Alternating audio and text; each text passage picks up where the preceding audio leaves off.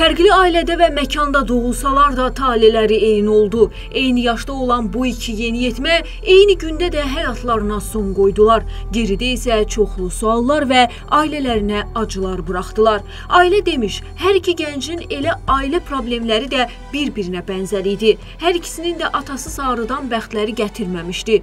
Atalarını çox görmək istəsələr də amma qismət olmamışdı. İki abituriyentin həyat hekayəsi. Pənah atasının üzünü komada komada olanda görür, amma atası onu görə bilmir. Komadan ayılmır. Elə Faiqə də atasını görmək nəsib olmur. Atası həbsxanada olur. Yalnız övladının ölümünün ikinci günü həbsxanadan çıxır. Yenə də oğlunu görə bilmir. Eyni gündə iki intihar.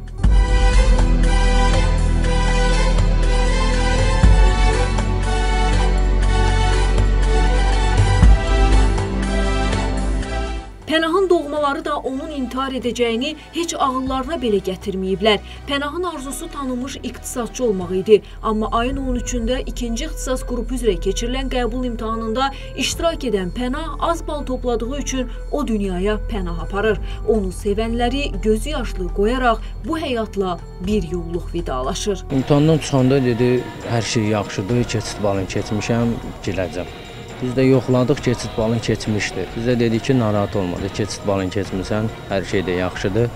Çox əgər lap da qəbul olmasan öz əlimlə resetləri yazarıq. Stress də insan da cavandır, nə deyim. Pənahın imtahandan sonra çəkilən kadrlar da var və onun güldüyü, əhvalının yaxşı olduğu heç də gözümüzdən yayınmadı. Hətta imtahandan sonra yaxşı yazmışam da dedi. Bu isə onun son gülüşü oldu. Pənahın babası deyir ki, axşam imtahanın nəticələri bəlli olanda Pənahın 180 bal topladığı məlum olub, amma onlar Pənahın intihar edəcəyini ağıllarından belə keçirməyiblər. Sumqayıt travmatologiya xəstəxanasına, xəstəxanasına gəldim, gəldim gördüm qohumlar yığışıb bura. Girdim içəri, hələ onda balam sağdı, danışırdı.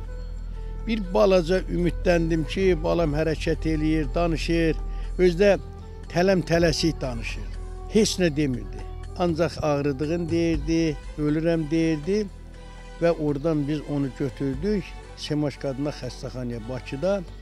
Artıq 20 yanvara çatanda oğlum zəng elədi ki, təcili tibb yardım stansiyası maşınında zəng elədi ki, papa, davleniya yenib sıfıra.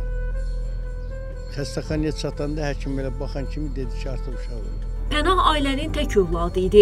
Anası ilə atası ayrılmışdı. Atası Mərkəz Quliyevlə öz bacısının yoldaşı arasında mülk davası olur. Elə bu davada Mərkəz Quliyevin dünyasını dəyişməsi, bacısının yoldaşının isə həbsxanaya getməsi ilə nəticələnir. Nəvəm daha doğrusu uzun müddət ata həsrəti ilə yaşayırmış. Bunu sonradan bildik, sonradan başa düşdük. Və biz günlərin bir günündə eşitdik ki, bunun atası çəkiclə vurulub ağır vəziyyətdə Semaşka xəstəxanasındadır. Biz aprel ayının əvvəlində nəvəmizi göndərdik həmin yerə. O gedib Semaşka xəstəxanasında atasını bu vəziyyətdə görüb. Nəvəm girdi içəri, işıqda keçitmişdi. Elə keçirəndə işığı uyandırdı, belə mənə çəpəki tərs baxdı. Uşağın nənəsinə dedim belə-belə dedi bəs Biz də televiziya baxanda o gəldi bizə dedi, deyəsən siz bayram eləyirsiniz. Demək, bizim bu hərəkətimiz uşağa pis təsir edib. Faiqin də ailə dramı fərqli olsa da, ölüm səbəbi Pənahla eynidir. Qəbul imtahanında iştirak edən Faiq istədiyi balı toplaya bilmir və elə buna görə də baxın gördüyünüz bu binanın 14-cü mərtəbəsinə qalxır və özünü oradan birbaşa yerə atır. Elə hadisə yerindəcə dünyasını dəyişir. Baş verənlər Faiqin anasına hələ də yuxu kimi görünür.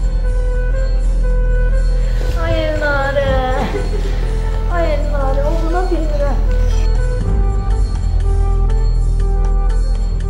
Heç uşağımla mən ovunmadım. Evdən çıxdım mən. Yaxşı-yaxşı uşağım mənə gəldi, görüşdü, öpdü məni.